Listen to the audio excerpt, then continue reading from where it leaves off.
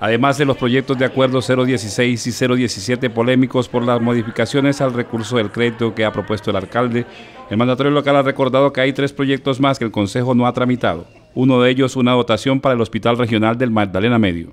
Eh, tenemos dos proyectos que son muy importantes, en el, tres proyectos muy importantes. El primero está desde el 16 de septiembre, que es 1.500 millones de pesos en equipos quirúrgicos que son para el hospital, que no son plata nuestra, plata del gobierno pasado.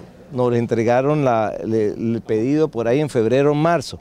Y el, hoy el hospital necesita ese equipamiento y en el consejo no han aprobado la donación.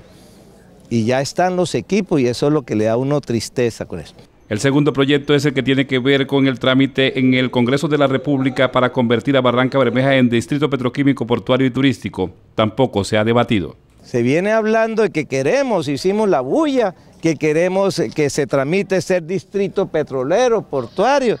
Allá hay un, eh, proyecto de acuerdo, se requiere que es la primera fase para entrar que el, que el Congreso, ahí me llamaron los ponentes, el Consejo tiene allá el proyecto, y en su sabiduría mirará si lo aprueban o no lo aprueban. También el alcalde ha recordado que se requiere la aprobación del Consejo Municipal de un proyecto de acuerdo para que la Asamblea de Santander le dé un nuevo nombre a la provincia de Mares, hecho que no se ha dado por parte de los corporados.